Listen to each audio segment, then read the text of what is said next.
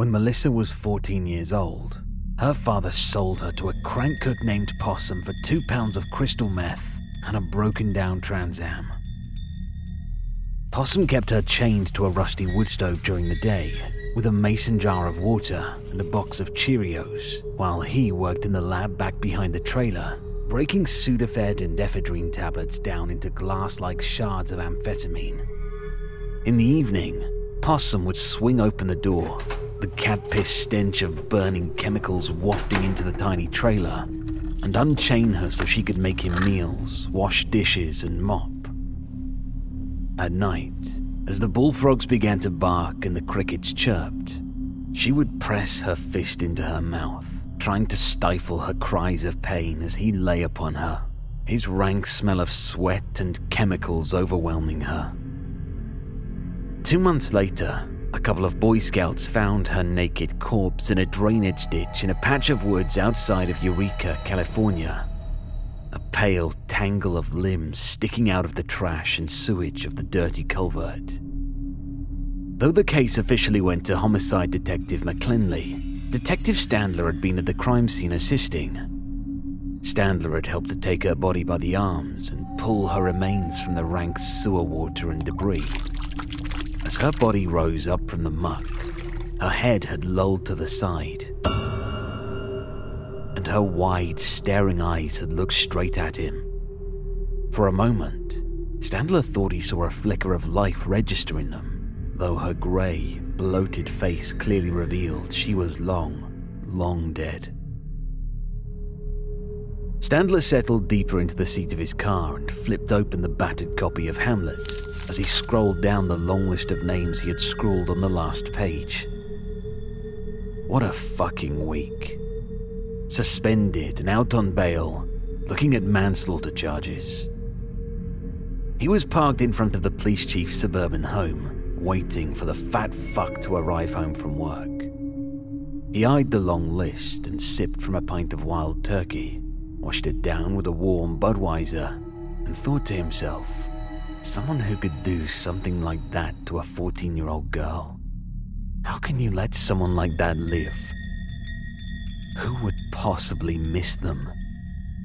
Who could possibly care? And no one had. Nobody missed that piece of shit possum. Two weeks paid administrative leave was all Standler had received after he emptied his service revolver into the sick degenerate's face. It had been a big bust. The lab, kilos of meth, and an arsenal of weapons. Everyone in the department was happy, and all he had gotten was two weeks paid leave and a wild party at the alibi thrown by the other detectives and a gaggle of uniformed officers. When the inquest asked him why he had gone out there, outside of his jurisdiction, to that backwards no man's land, he had simply replied that he was following up on a lead from an informant. What was he going to say? That a ghost had told him where to look? That the little dead girl had come back from the grave and told him? That in the dark, pre dawn hours, that twilight time between sick, drunk, and excruciatingly hungover, he would awake lacquered in sweat, his wife snoring loudly beside him, the room spinning, his heart threatening to break free from his chest. And there she would be, a frail little girl, at the foot of his bed, her stick figure limbs draped in a white nightie, its hemline stained in dark crimson streaks. Could he really tell them that? The first time he had seen her, he had screamed, horrified, the raspy noise of his own startled voice burning his dry mouth and throat. Ah! His wife awoke and shot straight up in bed. What? Oh, what is it? Standler blinked his alcohol swollen eyes. Only darkness. The girl was gone. There was nothing. Nothing, honey. Uh, it was nothing. Just go back to sleep. I. I just had a nightmare. Oh, okay, honey. His wife had rolled back over and immediately began snoring again. He lay there till the room grew pale in the morning light, his flesh tingling, wondering what he had seen, if he was going insane. The next time the little girl had appeared, he was calmer. He blinked twice, quickly, expecting her ghostly form to disappear like last time. But she didn't disappear. She remained there, looking down at him with her cold eyes, sunken deep in their dark sockets. He stared in disbelief. Was it real? Could this pale figure possibly be real? That's when she had stepped up to him, quickly, and her blue lips parted as she began to speak, to tell him things in a whisper. He thought he could smell the grave on her breath as she murmured in his ear about the night her father had sold her to Possum. It had been a dark night, deep in the backwoods of southern Humboldt, past the mountains of Alder Point and Blocksburg, in a place that didn't even have a name. Near Zenia, on the Trinity border where it snowed in the winter, and the cold mornings found the hills hardened in ice. The sky was black and it was pouring with rain. Her father had been drunk and handled her roughly, pulling her by the arm through the muddy front yard. She was terrified and devastated that her daddy's big Danner logging boots were splashing mud all up over her dress. Her mother had been dead less than three weeks. Her father had shoved her roughly through the front door of Possum's trailer. She's all fucking yours, her father had spat at the old, bearded man in greasy overalls. Possum had shuffled forward and took her cheeks into his grizzled, calloused hand, squeezing her face tightly moving her head back and forth for inspection. Oh, she's a pretty one. If you say so. She got that weird eye and those fucked up teeth.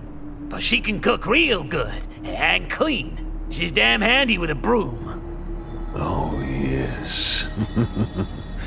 She'll do nicely. And two months later, she was dead and abandoned like so much trash. The sick fucks. How could he have let them live? And no one missed Possum. No one mourned him. They had thrown Standler a party. He had been a hero. That time.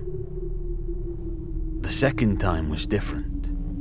That one had gotten him suspended, most likely fired. No pension, no 401k. He might even see some time for that one. Standler sipped his whiskey, reached down between his legs, and lifted up the Beretta. An old pistol his father had given to him long ago. He cradled the heavy, cold weight of the gun, waiting for his old boss, that fat fuck, to arrive back at his nice suburban home. Maybe his wife would find him dead on their well manicured front lawn. Maybe one of his teenage kids. Oh well. To have a sick fuck like that for a father? Just desserts. It was a warm night, and he had the window down, the whine of passing trucks on 101 softly humming in his ears. He thought of Hamlet. He had taken a Shakespeare class back in college when he was studying criminal law, still entertaining the idea of going on to law school and becoming an attorney before Charlotte got pregnant and he quit school and joined the force so he could start making money for his new family, only to have her give birth to a stillborn boy seven months later, never to conceive again. Hamlet. That tale of the haunted Danish prince had always stuck with him. Standing atop the castle parapet, the ghost of his father crying out for him to avenge his savage murder. Ghost, my hour is almost come, when I to sulphurous and tormenting flames must render up myself. Standler always wondered, was Hamlet insane? But no, that would mean they were all insane. Horatio, Marcellus, Bernardo, they had all seen it. They couldn't all be insane. It had to be true. The ghost had to be real. The second time the little girl told Standler to kill, things hadn't worked out like they had with Possum. my father. She had whispered. Kill him. And how couldn't he? Anyone who would do something as sick as sell their own daughter surely deserved to die. She described his car, where he would be, the pound of meth Standler would find in the trunk, the Glock he always kept under his seat. Standler had waited at the Red Lion Hotel on Broadway, right where the little girl had told him to. And just like clockwork, the car had rolled right into the parking lot. Standler had been amused at the look of surprise on the man's face when he strolled up with his 38 leveled right at eye level, squeezing a round off before the jerk even had a chance to utter a word. But there was no meth in the trunk, no gun under the seat, and it ended up it wasn't her father at all. At least, that's what the investigators said. They claimed it was just some businessman from Santa Rosa. But when Melissa appeared before him the next night, shimmering and ghastly in the moonlight, she told him no, it had been her father. They were lying, all of them. Lying liars, the little girl had whispered to him with her pale blue lips and graveyard breath. They had tried to hide it. It was a conspiracy, and they had fired him because the police chief was in on it. That's why the police chief was next. He had to go. That's why Standler sat in his car outside his house, a pistol cradled in his hands. He had to kill his old boss. Off that meth dealing, slave keeping, degenerate son of a bitch. And there were more. There are many of them. The frail ghost had murmured. His wife was one of them. She had made the list. She was a cheating meth whore, fucking the whole department for crank. The little girl had told him all about it. Late at night, moments before the morning, when the earth swelled silent and cold, and his heart beat so fast that it threatened to leave his chest.